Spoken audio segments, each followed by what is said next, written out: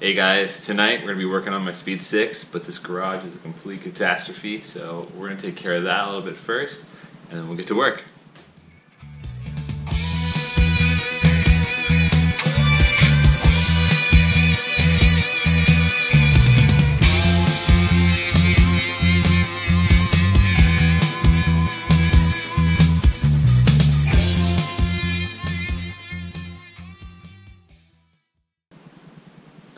So never fun cleaning the garage, but it was very necessary in this case.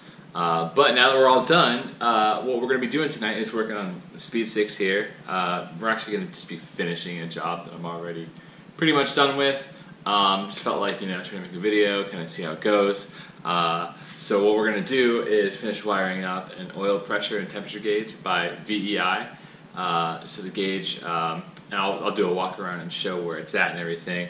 But uh, you know, this this motor here has a lot of miles on it. It has 133,000 miles, and these cars don't tend to, you know, be playing too too nice after uh, 100,000 mile mark. A lot of things tend to happen. They're very finicky. Um, so I figured it's a good idea to wire up oil pressure, oil temperature gauge, because I'm going to be pushing this thing a lot on autocross course, uh, road race courses, really anything I can get myself comfortably into driving this car that I care a lot about. Um, but uh, I feel like it's a good idea to keep an eye on these things. Just you know, it's not gonna make a big difference if things are gonna blow up, go. It's gonna go pretty quick anyways. But I feel like you know, it's just kind of a good idea to keep an eye on it. Um, maybe know a couple split seconds before, turn it off, and maybe have a block that could be machined. Um, so yeah, we're just gonna finish up that wiring job. I already have it wired underneath, but I'll give a quick walkthrough of how I did that and then we'll wire it up on the inside. And uh, I have an exhaust to put on as well, so we'll see if we can get crazy with that tonight. Otherwise, um, maybe maybe I'll like the way this turns out and want to do more. We'll see. All right, now we're going to jack up the front of the car so I can show you guys what's going on underneath, and we'll start tightening up that wiring.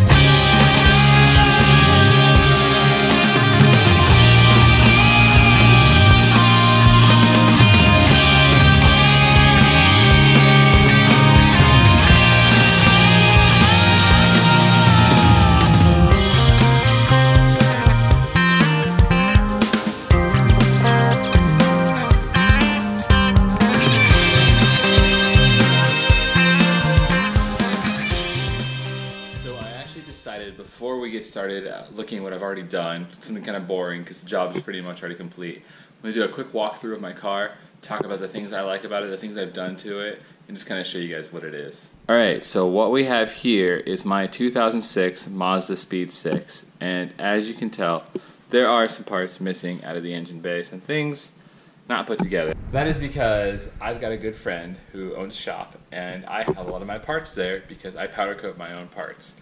I have not been able to powder coat those parts because the wiring that he has for his 240 volt power outlet does not actually have 240 volts. So as soon as we can get that fixed, $500 later, I will be getting my parts powder coated the colors I want them, and they'll be back on the car. Uh, but we've got a couple of things to do before we get to that point. So engine bay here, uh, it's a pretty basic build, nothing but bolt-ons, engine mounts, just supporting mods here. Um, it's got the stock turbo, stock engine. I haven't changed anything out.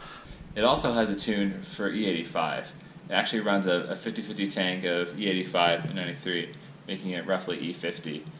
When I'm running that tune, I feel so much more low-end torque. This thing is an absolute monster. So for wheels here, nothing fancy, just some XXRs. But this car, it's all about the suspension. Not a lot of power adders, but I definitely care about the way the car handles and the way the car feels while it handles. These seats here are out of an RX-8 R3. The, the same friend with the shop where my powder coating stuff is at, parts out cars and gave me a great deal on these. Couldn't not add them to this car. So here is actually the gauge that we're going to be working on. Um, it's all pretty much wired up in the car as far as the power to it goes. Now we're just going to be working on adding the sensors to it. Uh, nothing too crazy there. That's the interior. The exhaust is a custom 3 inch turbo back exhaust. No cats, uh, just resonators actually. Sounds amazing. I'll post a, a link in the description to a video I made of it on the two step before I took it down for maintenance. To show you more of the car, I'm actually going to go ahead and go underneath. That way we take a look at the wiring. I can kind of show you some other things I've done. So right away you can see I have a upgraded intercooler as well. I forgot to mention that previously. Uh, this is a Treadstone TR8.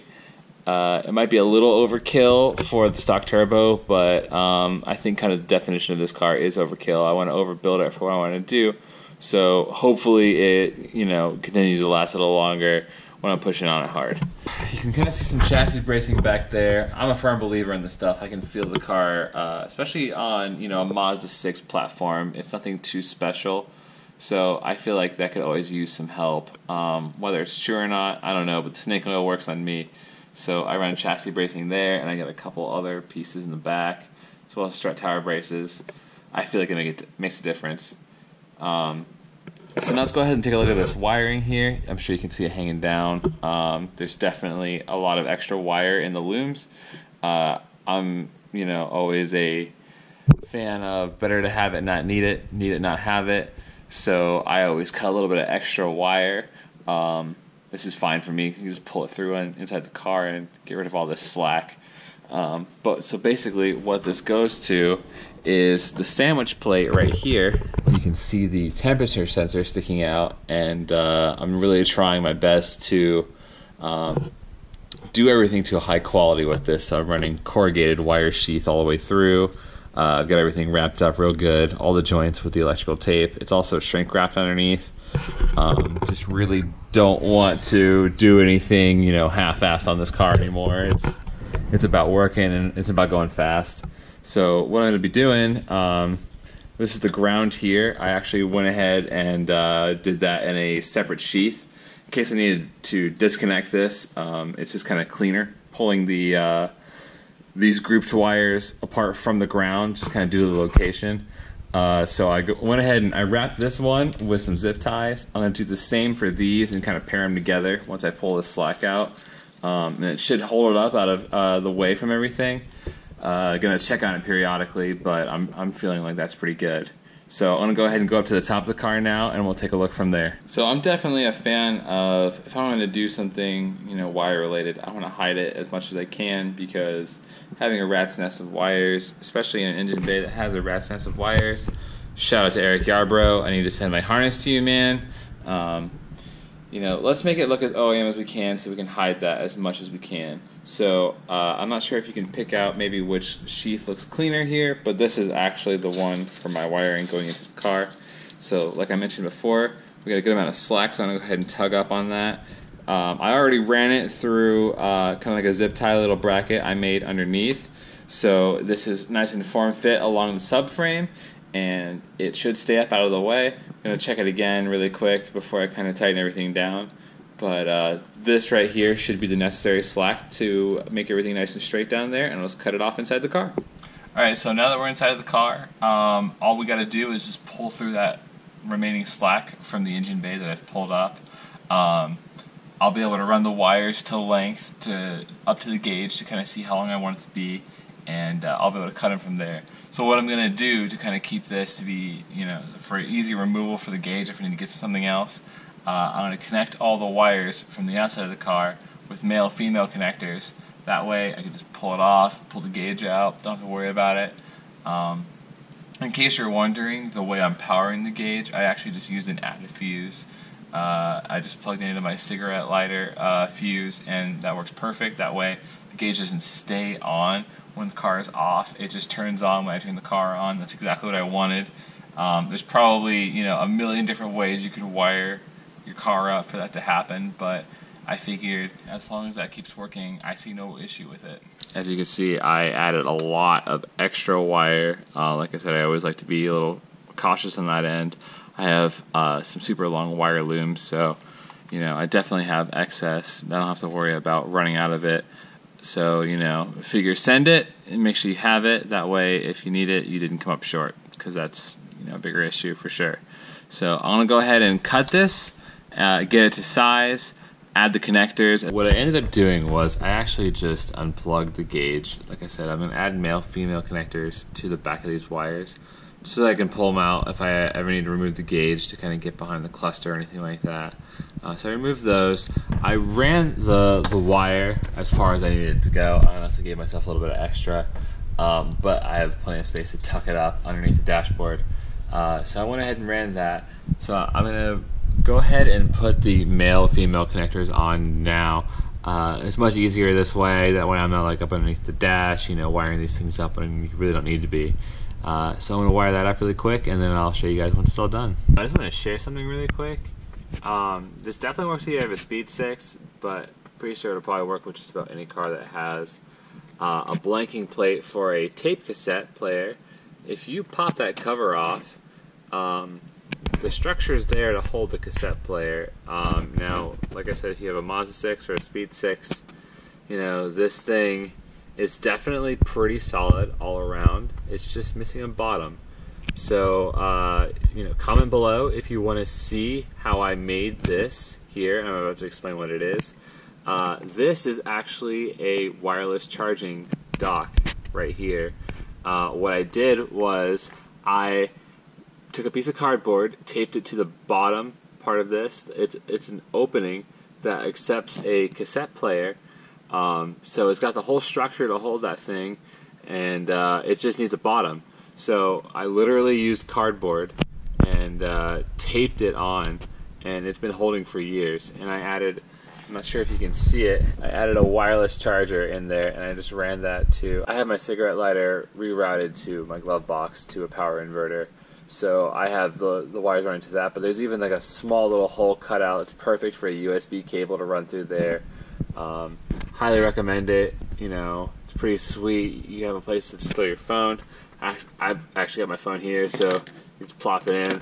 car doesn't have any battery right now, but as you can see, this is a uh, Galaxy S7. It fits in there just fine. A Plus would fit in there, you know, just as easy. Um, just a fun little mod you could do for sure. Sometimes you gotta admit to yourself that you're just in a little over your head. You know, you need that extra hand. So I did that and I got my extra hand. Bruce, hey, good boy. You gonna help me fix this car? Yeah. We gonna fix this car? Yeah. Yeah.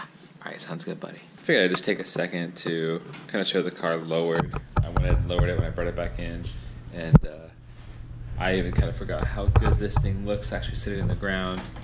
I love how aggressive the wheel setup is. Um, by the way, what I'm looking to do with this car is mostly going to be a autocross car slash track day car.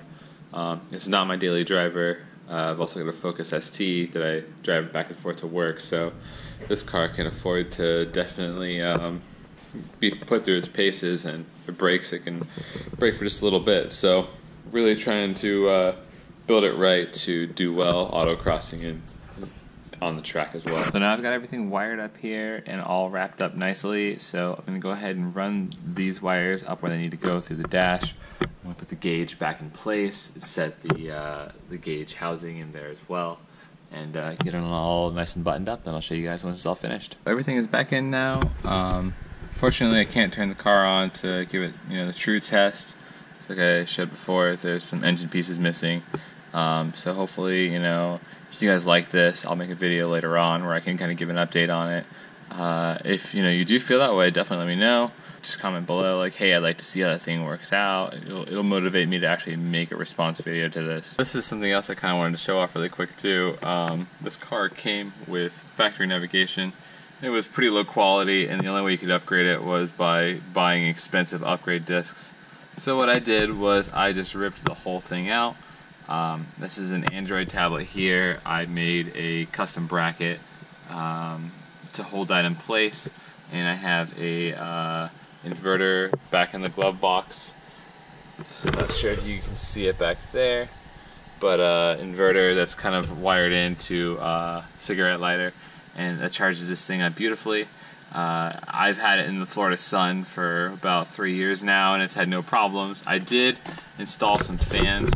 I'll kind of show that really quick. installed some fans uh, over where the battery would go, just to kind of help help things out a little bit. Um, some days it does get hot and it takes a little bit to uh, you know function properly. There's an alarm that goes off, like you know, saying that the battery is hot. Um, so I just installed these fans to kind of get rid of that sooner. And uh, as you can see here as well, this uh, particular setup does not allow for the use of the open and close button. Uh, it wasn't really something I cared about. I kind of wanted to just leave it all always open anyways. So I made it around this, but um, I am kind of thinking about, uh, I have a 3D printer. Uh, I may make some brackets to accommodate uh, both setups here in the future. So um, if you've actually made it this far, and that's something that interests you, um, I think we're pretty much best friends now. But you should also, you know, write in the comments below that you would like to see something like that. So then, you know, actually have that motivation to, to maybe do it sooner rather than later. One more thing I wanted to show off on my tablet here. Uh, I actually have a program on here called Tasker, so I can kind of set uh, specific conditions. Um, one of the things I did was kind of simulate the car turning on and off. I have uh, Bender from Futurama. He uh, kind of gives me different greetings and goodbyes based on the situation. So the car is on right now, the tablet's receiving power. So when I turn it off, it should trigger the goodbye.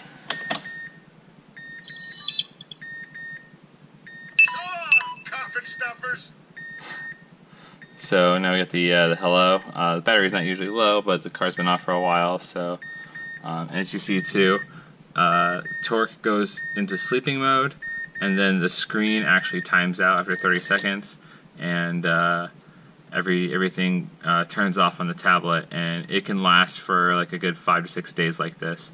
So I'm gonna go ahead and turn it on now, so we can kind of you can get an idea of what the uh, one of the hellos are.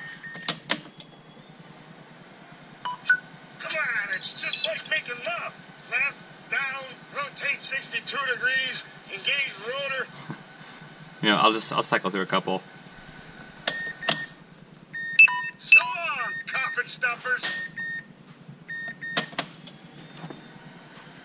Oh. So that's all for this video. Uh, if you liked it, let me know by thumbs up, comment, you know, tell me who liked it, what you didn't like. I'm open to hear that too. Or, you know, hit that subscribe button too. If you do that, I'll make more of these. If you're maybe interested in seeing something else, something else I have in mind, I'm gonna do some reviews on cars driving on an autocross course, you know, how they act performance-wise. Um, let me know what you think, you know, if you if you like what I'm doing, you know, like I said, anything you think I could change, I'm always uh, open to hear that. Um, you know, so that's it for this, and uh, now let's uh, shut up and drive.